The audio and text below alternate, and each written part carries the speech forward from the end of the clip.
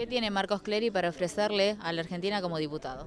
Yo soy eh, hace cuatro años diputado nacional y desde el momento que asumí, además de legislar siempre a favor de la Argentina y de la provincia de Santa Fe, teniendo el 100% de asistencia en la Cámara de Diputados, he hecho 400.000 kilómetros en la provincia de Santa Fe. Y he acompañado las gestiones en cada lugar, en cada momento, los intendentes, los presidentes de comuna y poniéndome a disposición siempre, como en el día de hoy conversando con los empresarios, dialogando, escuchando mucho, buscando las respuestas y por supuesto cuando se pueden hacer las cosas es un sí y cuando hay cosas que no se pueden resolver, trabajamos juntos para poder resolverlas si en el momento no, tuvimos la respuesta positiva. Marcos, el otro día la presidenta dio una señal de trabajar conjuntamente con la provincia de Santa Fe. ¿Se puede hacer, aceitar esa relación?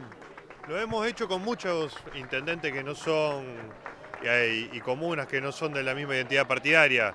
Eh, el ejemplo es Reconquista, el ejemplo es la misma ciudad de Firmat, donde Marilyn Sanún es candidata a senadora nacional. Ella como concejal oficialista ha beneficiado mucho de la ciudad de Firmat, a pesar de ser intendente de otro partido político. Y lo mismo en el municipio de San Javier y en otras localidades. Ese es un trabajo que nosotros venimos realizando. También para la ciudad de Rosario. La ciudad de Rosario se ha visto muy beneficiada igual que la ciudad de Santa Fe, de políticas públicas nacionales que hemos gestionado, como el regreso de las fuerzas federales, las la obras de infraestructuras importantes, como la renovación de la circunvalación a pleno, que son una inversión de 2 mil millones de pesos del gobierno nacional, y por supuesto uno puede ver ahí que siempre la predisposición está para trabajar y lo que importa es que la gente esté bien, que las demandas de la gente estén atendidas y trabajar en búsqueda de la respuesta de manera cotidiana en todos los niveles. ¿Qué inquietud se lleva de los industriales hoy? Que tenemos que trabajar para tratar de volver a incentivar el, consumo y la venta de maquinaria agrícolas, que el desarrollo de la región es muy importante para seguir manteniendo el nivel de empleo que está garantizado,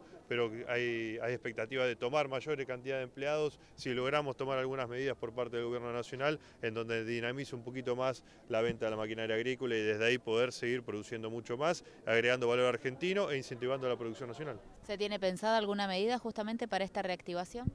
Se están analizando medidas, me llevo las que ellos estaban planteando, estuvimos haciendo un ping-pong, conversando sobre cómo podríamos hacerlas, si las hacemos así, qué efectos tendría también en la economía, a quién se beneficiaría de un lado o del otro, cómo lo podemos sectorizar. Eso es parte de la mesa de trabajo que seguramente van a tener el viernes con Axel Kisilov. Puntualmente esta situación se da, la recesión con, lo que es la, la industria metal mecánica, es lo que más han notado.